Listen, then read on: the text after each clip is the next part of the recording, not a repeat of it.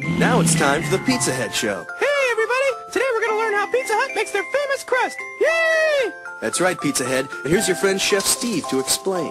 Oh, hi, Chef. Hey, wait a second. He's not a chef. Sure he is. He just wants to show you how they make thin. I hate this channel.